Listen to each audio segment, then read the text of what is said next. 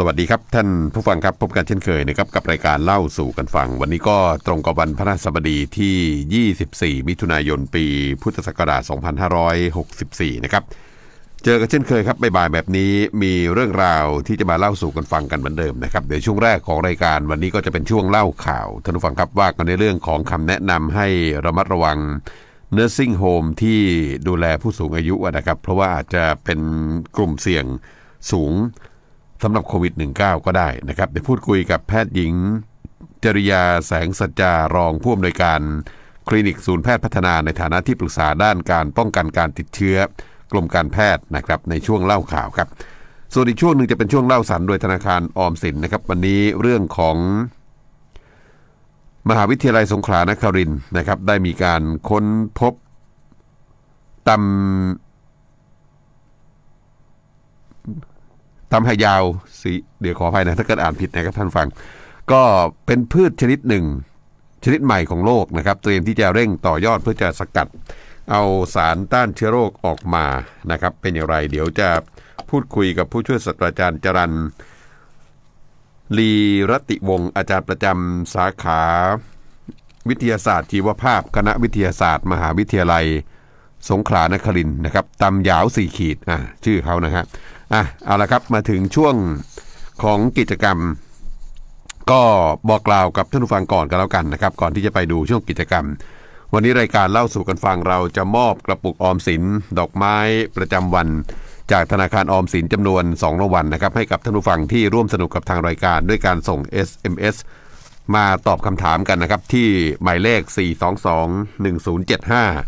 4221075 หรือว่าทาง Facebook Live นะครับเข้าไปที่เพจเล่าสู่กันฟังก็ได้นะครับ เดี๋ยวเราจะใช้ระบบการสุ่มจากคอมพิวเตอร์เพื่อคัดเลือกรายชื่อผู้โชคดีนะครับ วันนี้ 2 ท่าน2รางวัลเท่านั้น ส่วนจะเป็นใครเดี๋ยวทางรายการจะติดต่อกลับไปเองนะครับ นอกจากนี้ครับทางรายการได้เพิ่มช่องทางการรับชมย้อนหลังนะครับ ผ่านทาง YouTube โดยพิมพ์คำว่าเล่าสู่กันฟัง และสำหรับท่านผู้ชม Facebook ที่กดไลค์กดแชร์รายการในแต่ละเดือนนะครับเดี๋ยวทางรายการจะใช้วิธีการสุ่มคัดเลือก ผู้โชคดีเดือนละหนึ่งท่านนะครับ เพื่อที่จะมอบของขวัญพิเศษให้กับท่านต่อไปนะครับ มาถึงช่วงของกิจกรรมครับให้ข้อมูลกับท่านผู้ฟังก่อนนะครับ ข้อมูลมีอยู่ว่าธนาคารออมสินนะครับได้ออกมาตรการพักหนี้เป็นระยะเวลานาน 6 เดือนให้กับ SMEs อยู่ในกลุ่มของท่องเที่ยวนะครับ ไม่ว่าจะเป็นโรงแรม รีสอร์ทเกสต์เฮาส์เซอร์วิสอพาร์ตเมนต์ ซึ่งจะต้องมีวงเงินสินเชื่อรวมกันเนี่ยรวมแล้วไม่เกิน 250บาท50 ล้านบาทต่อหนึ่งรายนะครับแล้วก็มีหนี้ค้างชำระนานไม่เกิน 90 วันด้วยกันทวนอีกครั้งนะครับธนาคารออมสินได้ออกมาตรการพักหนี้เป็นระยะเวลานาน 6 เดือนให้กับ SME ในกลุ่มท่องเที่ยวนะครับไม่ว่าจะเป็นโรงแรมรีสอร์ทเกสต์เฮาส์เซอร์วิสอพาร์ตเมนต์โดยวงเงินสินเชื่อไม่เกิน 250 ล้านบาทนะครับและมีหนี้ค้างชำระ ไม่นานเกิน 90 วันนะครับ นี่เป็นข้อมูลส่วนคำถามนะครับ เราถามท่านผู้ฟังว่า ธนาคารออมสินนะครับได้ออกมาตรการพักชำระหนี้เป็นระยะเวลานาน 6 เดือนให้กับ SME ในกลุ่มท่องเที่ยวนะครับ ไม่ว่าจะเป็นโรงแรมรีสอร์ทเกสต์เฮาส์หรือว่าเซอร์วิสอพาร์ตเมนต์ก็ตาม โดยที่คุณสมบัตินั้นจะต้องมีวงเงินสินเชื่อเนี่ยไม่เกิน 250 ล้านบาท และมีหนี้ค้างชำระคำถามนะครับ มีหนี้ค้างชำระ นานไม่เกินกี่วันนะครับ ไม่เกินกี่วัน ส่งคำตอบมานะครับ SMS 4221075 Facebook Live เข้าไปที่เพจเล่าสู่กันฟังนะครับสำหรับรายชื่อผู้โชคดีครับประจำวันที่ 23 มิถุนายนนะครับจากกรุงเทพมหานคร คุณวรารัตน์ฉายฉันนะครับขอแสดงความยินดีด้วยครับ มาถึงช่วงข่าวประชาสัมพันธ์นะครับ ธนาคารออมสินได้ออกมาตรการช่วยเหลือธุรกิจท่องเที่ยวโดยเฉพาะผู้ประกอบการ SME ธุรกิจ โรงแรมและที่พักนะครับล่าสุดครับ ได้ออกมาตรการยกเว้นการชำระเงินต้น และดอกเบี้ยเป็นระยะเวลานาน 6 เดือน โดยจะมีผลตั้งแต่งวดเดือนกรกฎาคมจนถึงเดือนธันวาคม 2564 นะครับ มาตรการนี้จะให้สิทธิ์กับผู้ประกอบการ SME ที่เป็นธุรกิจโรงแรม รีสอร์ทเกสต์เฮาส์แล้วก็เซอร์วิสอพาร์ตเมนต์ซึ่งมีวงเงินสินเชื่อ ไม่เกิน 250 ล้านบาท และมีหนี้ค้างชำระไม่นานเกิน 90 วันนะครับนานไม่เกิน 90 วัน สามารถที่จะ แจ้งความประสงค์เพื่อขอเข้าร่วมมาตรการดังกล่าวได้ตั้งแต่บัดนี้เป็นต้นไปนะครับที่ธนาคารออมสินทุกสาขาหรือว่าที่ศูนย์สินเชื่อธุรกิจลูกค้า SME ก็ได้นะครับ ติดต่อขอสินสินเชื่อ หรือศูนย์สินค้า หรือศูนย์สินเชื่อธุรกิจ SME ที่ได้มีการติดต่อขอสินเชื่อเอาไว้ก็ได้นะครับบทเขตที่จะแจ้งความประสงค์ในวันที่ 23 กรกฎาคมนี้ที่ผ่านมาครับธนาคารออมสินได้จะทำมาตรการเสริมสภาพคล่องด้วยการให้สินเชื่อเงื่อนไขผ่อนปลน กับผู้ประกอบการ SME ธุรกิจท่องเที่ยวอีกหลายมาตรการนะครับ โดยในปัจจุบันมีมาตรการอยู่ 2 มาตรการที่ยังคงเปิดรับลงทะเบียนอยู่นะครับ ก็คือมาตรการสินเชื่อดอกเบี้ยต่ำไม่ต้องมีหลักทรัพย์ค้ำประกันวงเงินให้สินเชื่อสูงสุดรายละ 5 0 0แสนบาทนะครับ แล้วก็อีกประเภทหนึ่งก็คือมาตรการสินเชื่อ SME มีที่มีเงินสำหรับธุรกิจท่องเที่ยว ใช้ที่ดินเป็นหลักประกัน อัตราดอกเบี้ยปีแรกร้อยละ 0.1 นะครับ วงเงินให้สินเชื่อสูงสุดสำหรับบุคคลธรรมดา รายละไม่เกิน 10 ล้านบาท ส่วนนิติบุคคลรายละไม่เกิน 50 ล้านบาทนะครับ สามารถยื่นขอกู้ได้โดยลงทะเบียนผ่านเว็บไซต์ของธนาคารออมสินนะครับ www.gsb.or.th หรือติดต่อที่ธนาคารออมสินทุกสาขาทั่วประเทศก็ได้เช่นกันนะครับ เอาละครับ ช่วงนี้เป็นช่วงเล่าข่าวครับ เรื่องของ nursing home ที่ดูแลผู้สูงอายุนะครับมีคำแนะนำว่าให้เฝ้าระมัดระวังหน่อย เพราะว่าอาจจะเป็นกลุ่มเสี่ยงก็ได้ พูดคุยกับแพทย์หญิงจริยาแสงสจารองผู้อำนวยการคลินิกศูนย์แพทย์พัฒนาในฐานะที่ปรึกษาด้านการป้องกันการติดเชื้อกรมการแพทย์นะครับ ตอนนี้อยู่ในสายแล้ว สวัสดีครับคุณหมอครับ สวัสดีค่ะ คุณพีรพักับฒน์กับสถานการณ์ nursing home ความเสี่ยงของผู้สูงอายุเป็นยังไงบ้างครับคุณหมอฮะค่ะ ก็จะได้ข่าวนะคะว่าครับมี เอ่อเอ่อ nursing มีมีอ่าใน nursing home เนี่ยมีผู้ที่ติดโควิดนะคะค่ะ ซึ่งประเด็นเนี้ยก็เป็นประเด็นที่น่ากังวลครับนะคะเพราะว่าคนที่อยู่ใน nursing home เนี่ยเราก็ทราบอยู่แล้ว เป็นผู้สูงวัยนะคะที่ช่วยเหลือตัวเองได้น้อยนะคะแล้วก็อ่าความเสี่ยงที่ว่าเมื่อติดโรคแล้วจะเกิดความรุนแรงครับเนี่ยค่ะคือความเสี่ยงเนี่ย ก็คือว่าเมื่อติดโรคแล้วจะเกิดความรุนแรงเนี่ย จะสูงกว่าอ่าคนที่มีร่างกายปกติทั่ว ๆ ไปฮ่าค่ะกับค่ะค่ะซึ่งก็จริง ๆ แล้วเนี่ยก็คือกลุ่มเนี้ยเป็นกลุ่มที่หนึ่งว่าตัวของท่านเองเนี่ยนะคะ ผู้สูงวัยแต่ละท่านเองเนี่ย มันเราควรจะต้องทำให้มีภูมิในการที่จะอ่าต่อสู้กับโรคได้ครับนะคะค่ะก็คือเรื่องของการฉีดวัคซีน แล้วก็นอกจากฉีดวัคซีนเนี่ยก็คือจะเป็นในเรื่องของการระมัดระวังว่าไม่ให้ไปสัมผัสอืมกับคนที่มีโรค อันเนี้ยเป็นประเด็นที่มีความสำคัญอืมเพราะเราก็นะคะไม่รู้ว่าใครเป็นใครอะไรยังไงใช่ไหมใช่ถูกค่ะใช่เพราะว่า เพราะว่าเราเราก็จะเราจะไม่ทราบว่าใครเป็นใครครับใช่ไหมฮะฮะเพราะจริงๆแล้วเนี่ยนะคะ มันก็มีหลักการของในเรื่องของโรคติดต่อทั่วๆไปตั้งแต่ก่อนหน้าที่จะมีโควิดนะคะครับว่า คนที่เป็นผู้ดูแลใน nursing home เหล่าเนี้ยกับ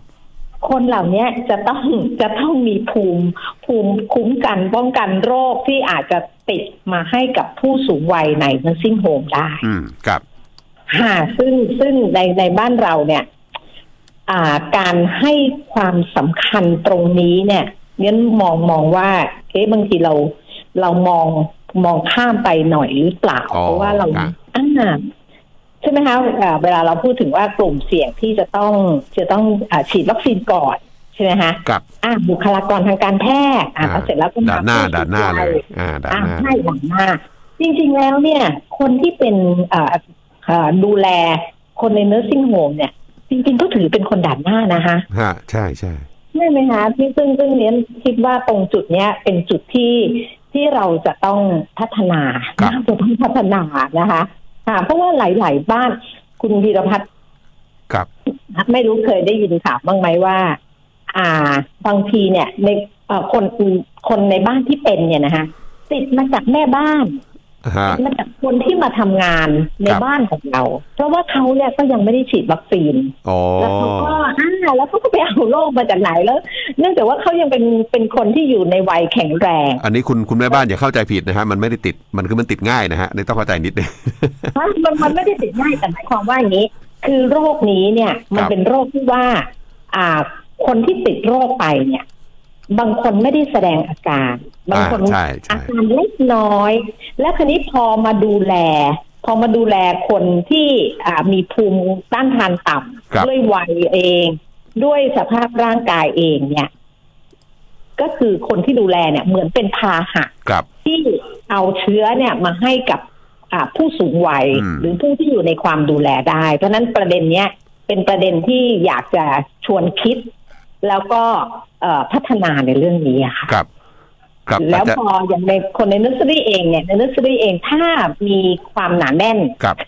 ถ้ามีความหนาแน่นอยู่อยู่อยู่แบบอยู่เตียงที่ไม่ได้เป็นห้องเป็นหับอ่าแต่ละคนเนี่ยนะคะโอกาสที่จะติดกันของโรคนี้ก็มีอะค่ะอ่าใช่ใช่ทีนี้จะจะจะทำยังไงดีฮะ เพื่อมันต้องเริ่มต้นจากความเข้าใจในตัวของเชื้อก่อนหรือเปล่าคุณหมอครับ ใช่ค่ะ ใช่ค่ะ มันต้องมี ใช่ต้องเริ่มต้นตรงนี้อะค่ะ ว่าความเข้าใจเกี่ยวกับอ่าตัวเชื้อครับค่ะ ตัวเชื้อนี้เองเนี่ยนะคะ ก็เป็นเชื้อโรคใหม่ ซึ่งไอ้นี่แหละใช่โรคคือใหม่หนึ่งเลยโอ้อ่าวัคซีนก็เราก็วัคซีนใหม่แบบด่วนๆใช่ไหมคะวัคซีนแบบด่วนๆไม่ได้ process เต็มที่ฮะเหมือนกับวัคซีนโรคอื่นๆที่เราเคยมีอยู่ใช่ไหมคะกับเอางานเนี่ยเนี่ยนะเชื้อโรคใหม่สองยาที่รักษามันจริงๆ มันก็ยังไม่ได้มีเป็นทางการนะคะ ใช่ครับใช่ครับนี่ยาไอ้ฟาวิพิราเวียที่เราพูดถึงทุกวันนี้เนี่ย เป็นยาที่ไม่ได้คิดค้นขึ้นมา เพื่อรักษาโรคนี้โดยเฉพาะกับแต่เรามาพบว่า เออมันใช้ได้ผลก็เลยนำมาใช้เออเพราะฉะนั้นเนี่ย เออแล้วก็ตัวโรคเองเนี่ย นอกจากตัวเชื้อโรคมาทำร้ายเราแล้วเนี่ยปฏิกิริยาของร่างกายเราที่มีต่อต่อเชื้อโรค แล้วก็ทำให้เกิดความรุนแรงก็ยังใช่อีกคืออือมเป็นโรคใหม่ซึ่งเรายังไม่ได้รู้จักมันอย่างถ่องแท้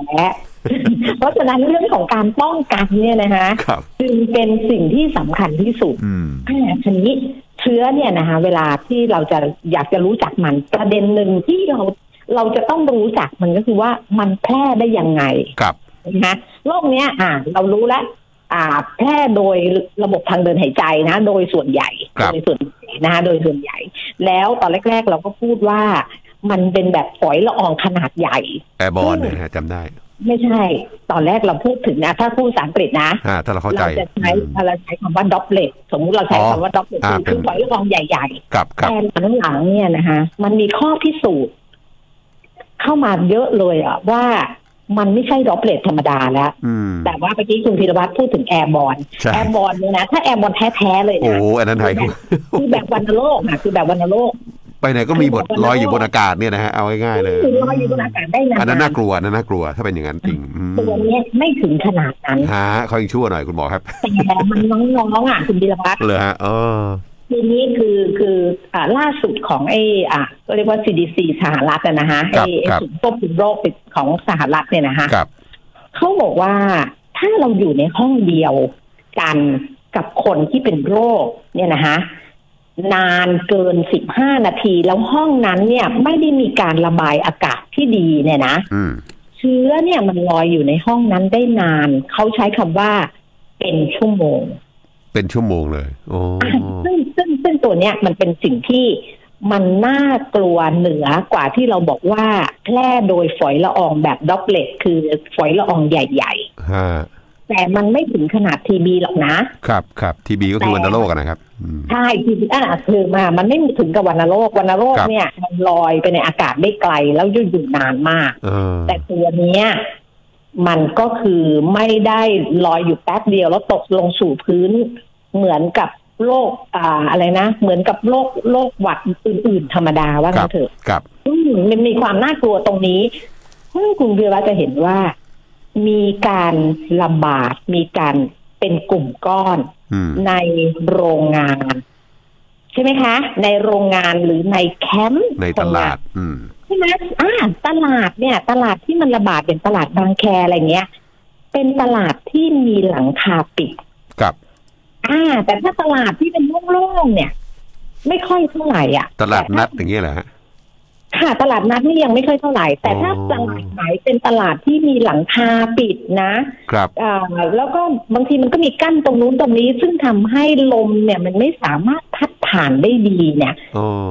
มันมีความเสี่ยงในการที่เชื้อโรคนี้เนี่ยมันจะอบอวลอยู่ในนี้กับที่ที่ทาง CDC สหรัฐบอกว่า มันอยู่ได้เป็นชั่วโมงอืม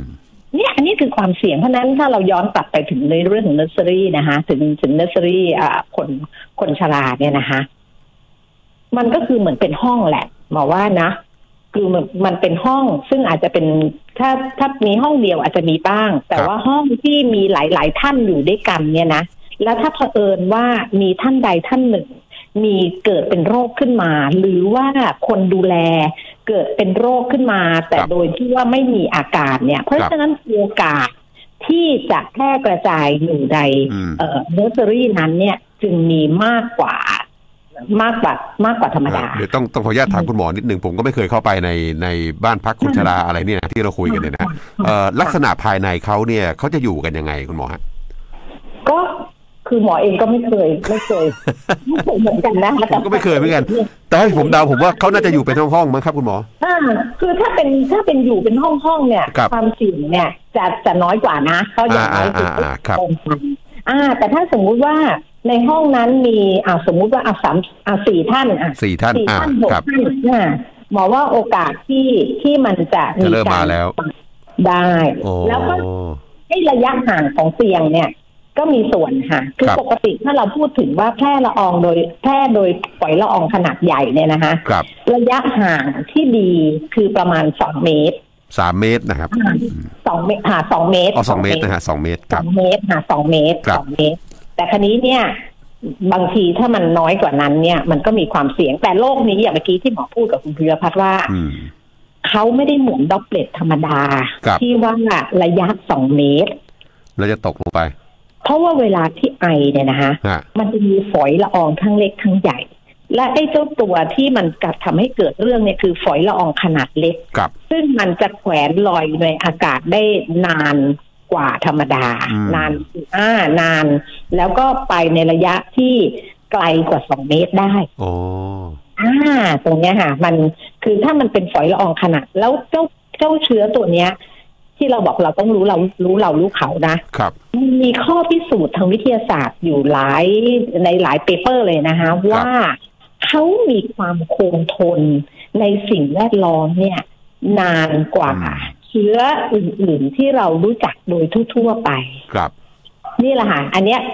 มันก็เป็นคำตอบน่าว่ากลัวนะอืมทำไมเขาถึงระบาดทั่วโลกแล้วจนบัดนี้เนี่ยเรายังไม่สามารถที่จะคุมเขาได้ดีเออถ้าค่ะถ้าถ้าอย่างๆนั้นเนี่ยในเรื่องการแพร่กระจายของเขาครับเนี่ยแหละคุณหมอถ้าอย่างนั้นเราจะดูแลผู้สูงอายุยังไงฮะยิ่งยิ่งคือถ้าอยู่ที่บ้านเนี่ยก็เป็นเป็นสิ่งที่เราต้องดูแลอยู่แล้ว แต่ว่ายังมีแค่คนสองคนเต็มที่ แต่ว่าถ้าเป็นที่โอ้โหเป็น กรณีของ nursing home เนี่ยเยอะนะฮะคุณหมอฮะทำไงฮะซึ่งเนี่ยค่ะอย่างที่หมอบอกว่าเอ่อเอ่อเอ่อการที่เป็น nursing home เนี่ยนะคะคนที่จะมีโอกาสพาเชื้อจากข้างนอกมาให้คุณคุณป้าคุณยายเราได้เนี่ยนะคะครับ ก็คืออ่าตรงเนี้ยเราต้องแน่ใจว่าเขาไม่พาเชื้อเข้ามาอืมนะคะวิธีการที่ดีก็คือให้เขาได้รับวัคซีนครับให้ครบนะคะถ้า เอ่อแม้แต่มันคงเป็นไปได้ยากเนาะนั่นสิที่เราจะแบบจะไปเหมือนอ่าสวอปเขาอะสวอปสวอปคือหมายถึงว่าถ้าเขายังไม่ได้ฉีดวัคซีนนะอ่าฮะถ้าเขายังไม่ได้ฉีดวัคซีนนะ อ่า เบื้องต้นเนี่ยนะเราเราอาจจะต้องเออพิสูจน์ให้ได้ว่าเขาไม่มีเชื้อโรคอ่าก็โดยครับการสวอปนะคะอืมไปตรวจซะอ่าอืมอ่าใช่ตรวจซะตรวจซะว่าไม่มีเชื้อนะครับนะคะ แล้วก็เอ่อฉีดวัคซีนถ้าไม่มีเชื้ออะไรเนี่ยนะคะ เราก็ต้องฉีดวัคซีน ฉีดวัคซีนให้เขาให้เขามีมีภูมิคุ้มกัน ซึ่งถึงแม้จะบอกว่าฉีดวัคซีนแล้วอาจจะติดเชื้อได้แต่อย่างน้อยติดแล้วมันก็น้อยเชื้อโรคมันก็เข้ามาน้อยกว่า แล้วก็ถ้ามีเชื้อโรคในตัวน้อยโอกาสที่จะแพร่กระจายไปให้คนอื่น ก็น้อยลงน้อยไปตามไปด้วย อืมใช่เพราะฉะนั้นเนี่ยหมอคิดว่า อันที่เราต้องทำนะสำหรับครับประเทศเรานะ ก็คือการที่ให้คนเหล่านี้เนี่ย คนที่ดูแลผู้สูงอายุได้รับวัคซีนด้วย อืมอ่า แล้วก็ผู้สูงวัยที่อยู่ในนัสเซอรี่เนี่ยนะคะ ก็ต้องได้รับวัคซีน ครับ ซึ่งตอนเนี้ยเราอาจจะยังมีข้อจำกัดว่าคนที่ได้รับคนที่จะได้รับวัคซีนเนี่ย คือจะต้องไปในสถานที่ที่ฉีดวัคซีนใช่ไหมคะครับ ต้องพาใส่รถเข็นอะไรกันไปโอ้โหที่โรงพยาบาลเอ่ยอะไรที่เขาเอ่ยจัดไว้เนี่ยให้ใช่ใช่เพราะฉะนั้นเนี่ย ถ้าเรามาฉีดในเนอร์เซอรี่เองเลยเนี่ย นะคะอืมแล้วคุณหมอดูแล้วว่าอ่าท่านเหล่านั้นเนี่ยร่างกายพอที่จะฉีดวัคซีนได้เนี่ยนะคะครับหมอคิดก็ต้องฉีดวัคซีนให้ท่านอ๋ออย่างนั้นดีกว่า บริการถึงที่ไปเลยดีกว่านะฮะอืมคือหมอคิดว่าอย่างนี้ค่ะ คิดว่าหนึ่งคนครับดูแลครับต้องได้รับวัคซีนสองผู้สูงวัยที่อยู่ในเนอร์เซอรี่ต้องได้รับวัคซีน แล้วก็ในในในในเนอร์เซอรี่นั้นเนี่ยนะคะพยายามจัดสิ่งแวดล้อม ให้มันไม่เอื้อต่อการแพร่กระจายเชื้อครับอ่าระยะห่างของเตียงถ้าเป็นเตียงหลาย ๆ เตียงต้องระยะห่างต้องไม่ไม่ไม่น้อยกว่าสองเมตรอ่านะคะห้องนั้นเนี่ยมีการระบายอากาศที่ดีอืมคืออาจจะเป็นห้องแอร์นะอ่าแต่เรายอมเปลืองไฟนิดนึง โดยการที่เรามีพัดลมดูดอากาศอ๋อครับที่จะทำให้อากาศเนี่ย มันถ่ายเทบ้าง อันเนี้ยอืมช่วยได้ช่วยได้นะตรงเนี้ยค่ะตรงเนี้ยตรงเนี้ยเป็นเป็นประเด็นที่สำคัญเพราะเมื่อกี้ที่บอกว่าการค้นพบว่าเชื้อตัวเนี้ยมันลอยอยู่ในอากาศได้ได้นานนานกว่าเชื้อตัวอื่นเนี่ยนะคะเป็นตัวที่เราจะต้องอืมควบคุมให้สิ่งแวดล้อมเนี่ย ไม่เอื้อให้มันมีเยอะๆในห้อง ครับ ค่ะครับได้ครับเอาละครับได้ความรู้เยอะเลยวันนี้รบกวนคุณหมอแค่นี้ก่อนนะครับขอบพระคุณมากครับคุณหมอครับค่ะค่ะยินดีครับสวัสดีครับค่ะครับสวัสดีค่ะแพทย์หญิงจริยาแสงสัจจานะครับ รองผู้อำนวยการคลินิกศูนย์แพทย์พัฒนาในฐานะที่ปรึกษาด้าน การป้องกันการติดเชื้อกรมการแพทย์นะครับในช่วงเล่าข่าวท่านผู้ฟังครับเดี๋ยวกลับมาช่วงหน้าช่วงเล่าสันโดยธนาคารออมสินนะครับวันนี้ว่ากันในเรื่องของการค้นพบตำยาวสีขีดนะครับพืชชนิดใหม่ของโลก แล้วก็เตรียมที่จะต่อยอดด้วยการสกัดสารต้านเชื้อโรคนะครับเดี๋ยวพูดคุยกับผู้ช่วยศาสตราจารย์จรันลีรติวงศ์อาจารย์ประจำสาขาวิชาวิทยาศาสตร์ชีวภาพ คณะวิทยาศาสตร์ มหาวิทยาลัยสงขลานครินหรือว่ามออนะครับส่วนคำถามครับเราถามท่านผู้ฟังว่า ธนาคารออมสินนะครับได้ออกมาตรการพักหนี้เป็นระยะเวลานาน 6 เดือนให้กับ SME ในกลุ่มท่องเที่ยวนะครับก็จะมีทั้งโรงแรมรีสอร์ทเกสต์เฮาส์ service apartment ซึ่งจะต้องมีวงเงินสินเชื่อไม่เกิน 250 ล้านบาท และมีหนี้ค้างชำระคำถามนะฮะมีหนี้ค้างชำระไม่เกินกี่วัน ส่งคำตอบมานะครับ SMS 4221075 Facebook Live เข้าไปที่เพจเล่าสู่กันฟังนะครับ เดี๋ยวเราพักกันตรงนี้ครับ สักครู่ครับ